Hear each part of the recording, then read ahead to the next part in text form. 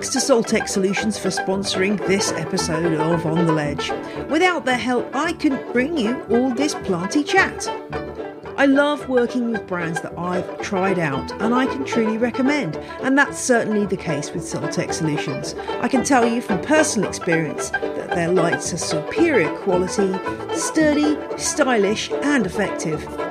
Soltech Solutions' fabulous customer service means you won't be left in the dark when it comes to buying great grow lights.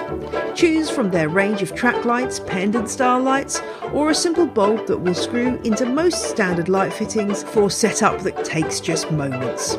Check out Soltech Solutions' range of lights now at soltechsolutions.com and get 15% off with the code ON THE LEDGE. That's soltechsolutions.com.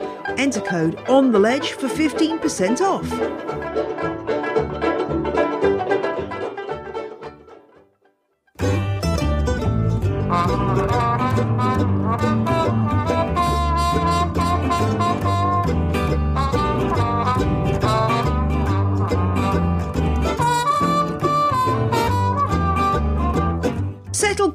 With your choice of beverage. It's time for On the Ledge podcast.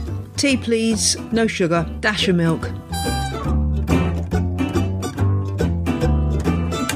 I'm your host, Jane Perrone, and this week's show is dedicated to the delightful foliage plant known as Fittonia, aka the nerve plant.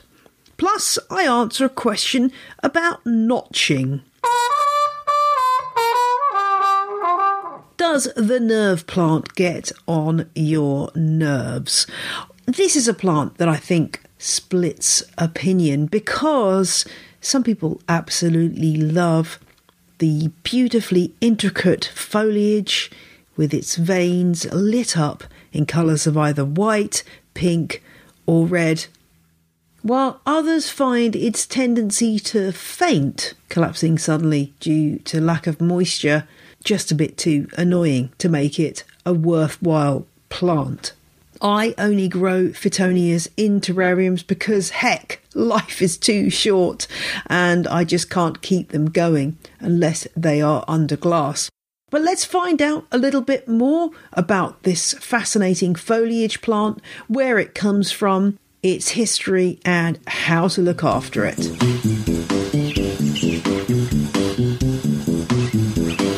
One of the things I do like about Fittonia is that the genus name honours a pair of botanists called Elizabeth and Sarah Fitton. These Irish sisters were the authors of a book called Conversations on Botany, which came out in 1817. And this covered basic botany, scientific classification, and more. And it was set up as a conversation between a mother and a son. And this kind of approach to teaching about botany was actually fairly typical of that time.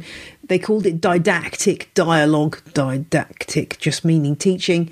And it was based on the ancient ideal of Platonic dialogue as popularized by Plato. So, the idea that by talking something through, you could learn a lot more than you would do from a lecture format. Sound fancy? It certainly was. Here's a little extract.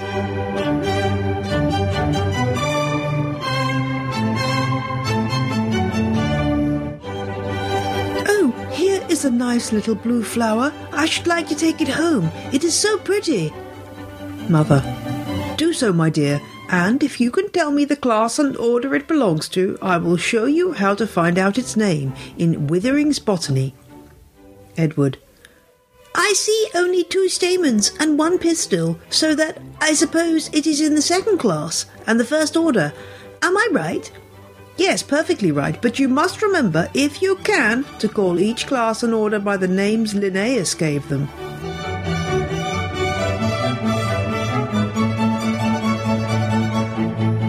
Wow, it's just like listening to an episode of On the Ledge circa 1800 and something, isn't it? Well, not really, but you get the idea. And this was one of the books that helped to cement the idea that women could actually study botany in a scientific way. You can have a look at the book online. It is available online because obviously it's long out of copyright. I'll put a link in the show notes if you want to have a look at that book.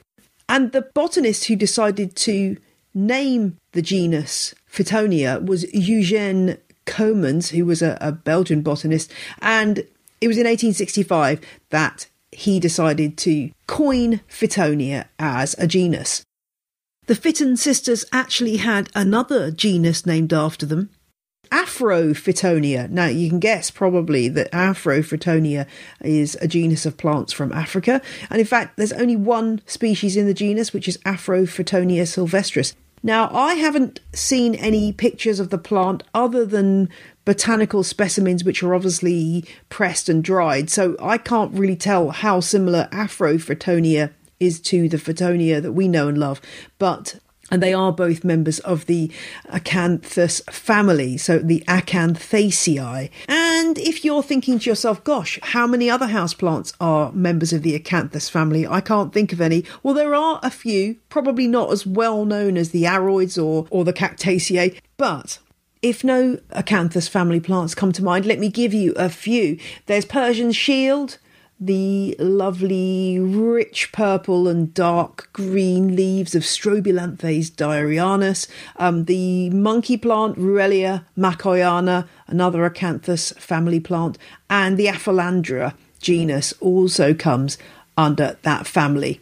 And finally, uh, Hypoestes. Now, these often get mixed up, actually, Fittonias and the polka dot plant or freckle face, Hypoestes phyllostachya. I've actually seen whole articles written by quite well known horticulturists in which they are writing about Fittonias but illustrating it with a picture of Hypoestes. So these two do get mixed up. The Acanthus family plant Hypoestes, phyllostachya or sanguinolenta, as it used to be in my day, is actually from Madagascar, whereas the Fittonia, well, they are from South America. Although Hypoestes is quite widely naturalized in South America, which I think is why sometimes they get confused. But the Hypoestes variegation is dotty as opposed to the lining of the veins that we see with Fittonia. So it was the 1850s and 1860s when these Fittonias started to be and I'm putting big inverted commas around this word, discovered in parts of South America, northern South America. So there are two species that are currently listed by Kew. As with most genera, there's been a bit of jiggery pokery over the years, moving plants around and giving them different names. But Kew's definitive, or as near as you can get to being definitive, guide, Plants of the World Online, lists two species, Gigantea and Albivenis, and they come from Bolivia, Colombia, Ecuador, Peru, Venezuela, and a little bit of northern Brazil. The Gigantea's range is limited to Ecuador and Peru. I think that both of these species have been used in the breeding of the modern hybrids that we know and love today. There are so many different variations on the Fittonia theme out there. And you'll find them under names like And Argyronura. The way this is usually dealt with is by putting the plants into two groups, both with the species name Albivenis. One is Argyronura group, one is Verschaffeltii group, and under those banners come lots of the plants we know and love. So the Argyronura group, that's all the ones that have basically got white veins, and the Verschaffeltii are all the pinky red ones. So, what was going on in the 1850s and 60s where the Fittonias first came to be known by white Western horticulturists and botanists? So, this was a time when obviously lots of plant hunters were fanning out across South America and finding all kinds of plants and transporting them to the UK and North America for collectors to grow. And it's amazing how quickly this plant suddenly starts appearing in archive material uh, from newspapers. Around the year 1866, 1867, suddenly you start reading all these newspaper reports about flower shows where people were showing off their Fittonias. So, literally, only a, a year or so after this genus was given its name, Fittonia, it had been known as Gymnostachyum uh, somewhat before that. But very quickly, these very well off growers, you know, you had to be very well off to ha- have your own heated greenhouse at this time if you were in the UK, uh, or their gardeners would be showing these plants at shows and they were getting quite a lot of acclaim for them. And where did Coemans find the plant? Well, I have read that the plant came from the famous British plant hunter and breeder and salesman extraordinaire, Mr. William Bull. And but as is so often the case, the reality is somewhat lost in the mists of time. And in fact, I've got a copy of the Gardener's Chronicle from 1866 in front of me, in which Mr. William Bull's catalogue of novelties just issued establishment for new and rare plants, Kings Road, Chelsea, southwest London, included reference to new plant, Fittonia argyronura, the handsomest new plant of the season, easily cultivated in any stove. Price 21 shillings. How much is that worth in today's money? Anywhere between about 60 and 70 pounds. So, yeah, I guess quite expensive for a new introduction, but then again, look at what people are paying for new introductions today.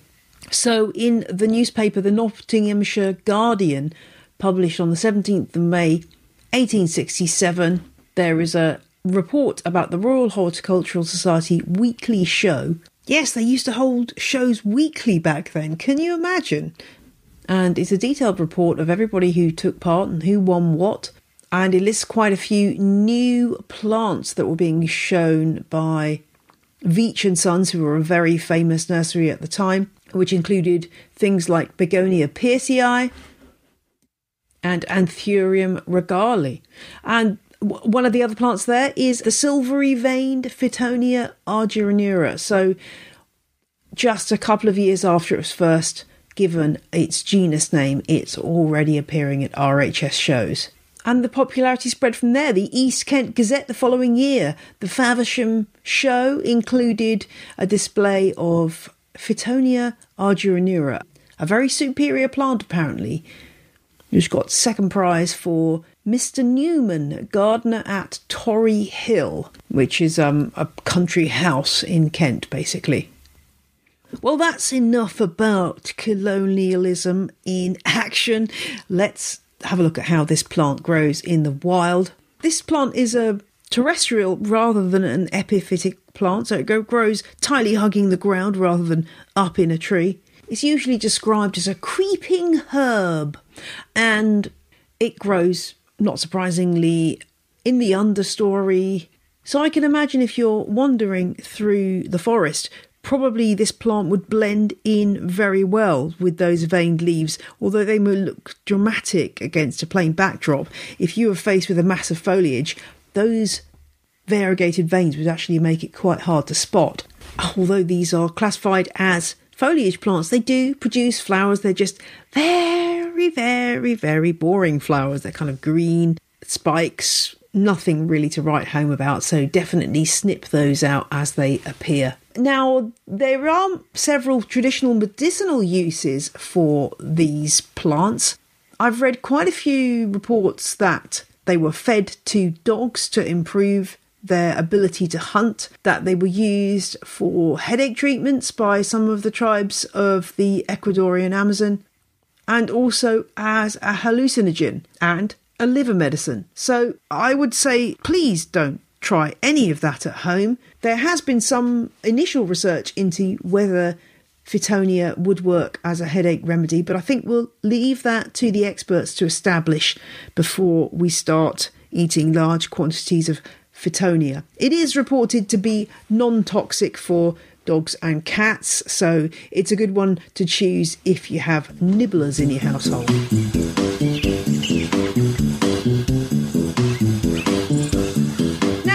Settle our nerves with a dose of question of the week. And it comes from Alexander, who wanted to know about notching as a way of encouraging ficus to branch out in the world. What is this technique and what do I need to achieve it? Well, notching is deceptively simple, I guess. It's just making a little cut into the trunk of your plant to, in order to encourage it to create side shoots which turn into branches and a more overall bushy look. How does it work? Well, all you're simply doing is reducing the supply of the hormone auxin to the growth point of the plant. The plant will note that the supply route for that auxin to reach the growing tip has been stopped or reduced, and as a result, it will redirect those growth hormones to the side shoots and hopefully stimulate the places where those side shoots come out and make them appear. The position where you want to do the notch is above a node, the node just being the point where the leaf stalk or the petiole joins the stem, and you want to go just above that and be brave because you do need to cut reasonably deep. Usually, rubber plants I've got quite woody stems, and so you should be able to go in a decent way obviously don't cut the whole thing off, but you want to go about a quarter of a way into that trunk. Make sure you're using a really sharp pruning knife that you've cleaned beforehand. Make sure it's sterile by just running it over a naked flame. And if you do this above various nodes on the stem, it should encourage side shoots to come out of those stems. It depends the shape you're looking for, and it is a bit of an unpredictable process it's very easy to say, oh, yes, cut here, but the results are different according to different plants. So bear that in mind when you are thinking about where to chop. You could do this notching at any time of year, but you know, springtime is generally the best time to do this because that's when the sap is rising in the plant and the response will hopefully be the quickest. Usually, it's recommended that you do the cut at an angle. To be honest, I'm not sure if that makes any difference, but probably worth doing it an angle if you can. Oh, and you know, going into mum mode, obviously be careful, wear gloves, do not cut yourself, but do use a nice sharp knife to do it. Because it's the old saying, you know, if you use a blunt knife, you're much more likely to cut yourself than a sharp one. Why would you want to do this to uh, ficus? Well, oftentimes ficus will just grow straight up uh, and end up looking like a bean pole. And you may want your plant to look bushy rather than a bean pole. You may also experience that thing where your ficus loses lots of leaves, a very common experience with ficus. And this is one way of recovering the situation. You can obviously prune off the top of the stem, the growing point, and it will branch, but notching is a slightly less obvious way of getting results for a more bushy plant. I hope that helps, Alexander. And if you've got a question for On the Ledge, drop me a line to ontheledgepodcast at gmail.com. There are absolutely loads of Fittonia hybrids, cultivars, God knows what out there, and I have to say, a lot of them look quite similar to each other. Uh, there's been a lot of breeding done with this plant. I'm going to list a few ones that I think are notable, but there are many out there, so do tell me what your favourites are. It, it really depends on what your sense of style is like. If you like the idea of a lime green plant with bright pink veins, then Skeleton is probably the one for you. Titanic, despite the name, is actually a small white veined uh, cultivar. One of the ones I like least, although it is much more subtle than some of the other variations, is Daisy, which has got a kind of a grey green look to the leaves and some cream variegation on there as well. When it comes to display, terrariums are great should you mix up different colours, sizes, and so on. There are some with ruffled leaves as well. I'm thinking of one called Frankie. I don't really like the ruffled leaves, but I know some people rather like the frilly shirt effect that this one gives. One of the named cultivars that I think is the best is Fortissimo. I've seen it on sale at IKEA and it's just got these very nice leaves. They're kind of almost quilted with a mid green background and then this really, really intense hot pink veining quite simple as opposed to the network that you sometimes get with some of the other members of this genus. I think this is the one that Jamie Song of Jamie's Jungle had for ages, which looked absolutely amazing. When it comes to care of this plant, that dramatic fainting that I talked about earlier puts it in the category of a bit of a diva. It's like a peace lily. It will dramatically wilt, but sometimes it's worse than the peace lily in that it's harder to revive. The leaves don't have such a waxy cuticle, they're really quite thin, and so it gets to the point of no return a lot quicker than a peace lily will. And thus, the interwebs are littered with reports of people whose Fittonias did not make it, accompanied by pictures of pots of crispy leaves. It does like to fake its own death, except sometimes it's not faking it. If your plant does start to get all droopy, what can you do? Well, it's important to take action as quickly as you can because every minute that goes by is producing more stress in the plant, which can impact on its health for quite a long time. So that even if you manage to revive it, the plant may never be quite the same again. Get it in a bucket of water, stat, a room temperature bucket of water. You can dunk the whole pot in there. That will enable the plant to very quickly rehydrate and have its best chance. Yes, it doesn't look great for a time lapse photography if you want to capture the moment of your Fittonia's revival, but it is a good way of getting your plant to come back to life. Then just let it drain off and sit it back in its usual location, maybe even switching it to a slightly darker area just to let it recover before it goes back to its normal home. The other thing you can do to a badly wilted Fittonia is once you have watered it, stick it in a clear plastic bag. By raising the humidity around the plant, it will just help it to recover. And maybe you could swap it over to a terrarium when you have a chance. And this is a plant that is a really good candidate for a self watering container because that way you avoid these issues. Or indeed, you can use wick watering on it where you just poke a wick up through the bottom of the pot made of a nylon cord and then join that up to a reservoir below with water and pebbles, and that way the plant can kind of give itself a drink whenever it needs one. Remember, it's an understory plant right at ground level, so coping with deep shade, the deep shade you get outside as opposed to the deep shade of our houses, which is probably just about double the darkness of the South American forests if you put a plant in really deep shade, I've got one, a terrarium in my room, which is definitely not getting enough light, which just contains Fittonias and it's doing okay. The leaves have gone very small. The plant just can't afford to put too many resources into making new leaves. So if I move that somewhere lighter, cut it back and move it somewhere lighter, the leaf size will increase again. But it can cope with low light for quite a long time and it's so low maintenance once it's in a terrarium you don't want to put it in too much light because the glass acts as a big magnifying glass and will burn the plant. Plus, also, it can get just too hot in there. So keep it out of direct sun.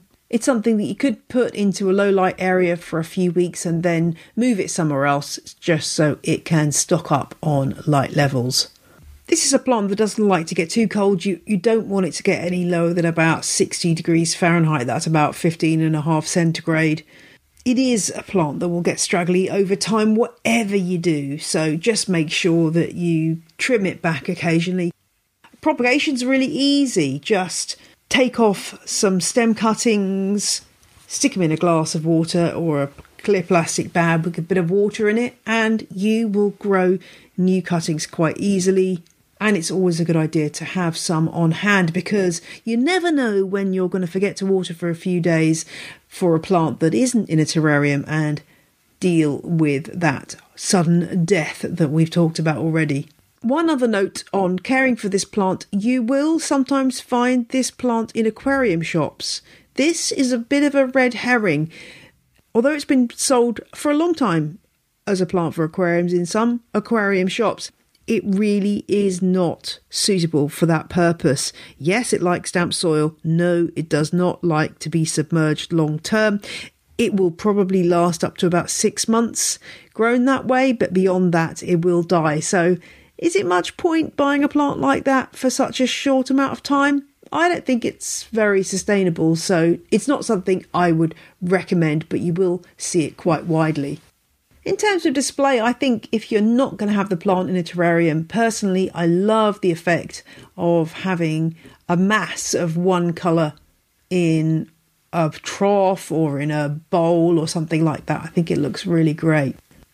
Now, I said these were plants that grow well in terrarium settings, and right back from when they were very first brought to Europe, they were considered to be plants that were good for the Wardian case, the very first incarnation of the mini glasshouse.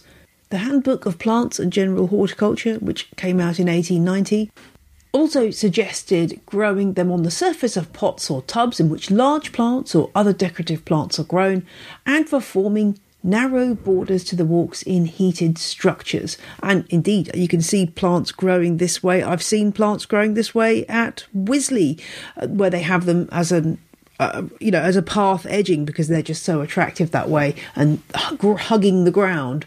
So, as they were doing back in the 1860s, you can use Fittonia as ground cover around bigger plants. I did see a rather striking display. I'm going to use the word striking, and you can interpret my meaning as you will on a Facebook group where somebody had partnered up a Euphorbia platyclada in the centre. That's the dead stick plant from Madagascar that is quite a sort of abstract looking succulent that does look a bit like a dead stick, but really cool. I love it's one of my favourite succulents.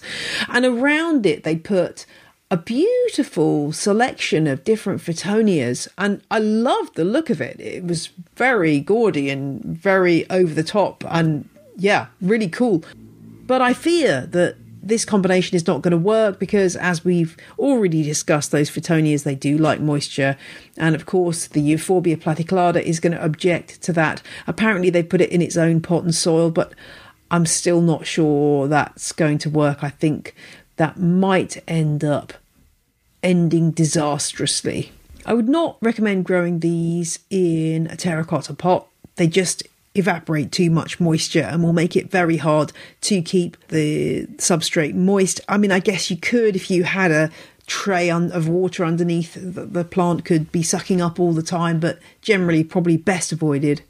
I have seen some boutique plant shops selling little terrarium eggs, little tiny domes with a single Fittonia underneath sat on a bed of moss. These are kind of cute and adorable, but as ever, you could probably make one of these yourself by getting, I don't know, even a big brandy glass and upending that over a pot of Fittonia could look great. Even if the terrarium doesn't have a lid, just being in that close environment will just help to keep your plant going that long bit longer. Just make sure you're carefully measuring how much water you're putting on there because obviously there is nowhere for that water to go. And root rot could easily follow. When you're repotting this plant, do think about making sure that the soil is fairly moisture retentive. You can add something like vermiculite, which holds moisture quite nicely and will mean that you have to water less often. And while I'm talking about terrariums, small public service announcement please do not put Asparagus plumosus into a terrarium. Even if you can buy this plant as a tiny plant, it grows so fast and it just isn't suitable for terrariums. They can get very tall very, very quickly. It's not a slow grower. Do not put it in a terrarium with your Fittonia. Please don't do it to yourself. Life's too short. Fittonias are also often recommended for bioactive or terrascaped environments. They're much better for this purpose than they are for aquariums, and they will work quite well in a in a damp setup where it's okay for it to be damp. They don't grow fast enough to cause any problems at all.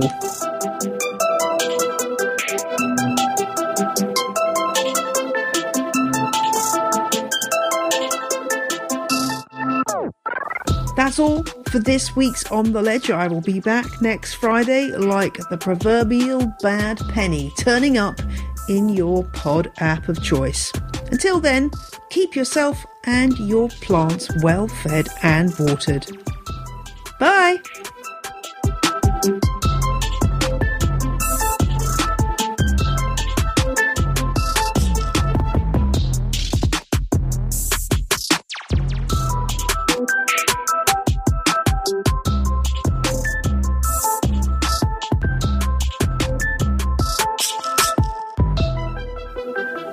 The music you heard in this episode was Roll Jordan Roll by the Joy Drops. The Road We Used to Travel When We Were Young by Komiku, Mozart's Eine kleine Nachtmusik performed by the Advent Chamber Orchestra, and Whistle by Benjamin Banger. And the ad music was Dill Pickles by the Heftone Banjo Orchestra. All tracks are licensed under Creative Commons. See the show notes for details.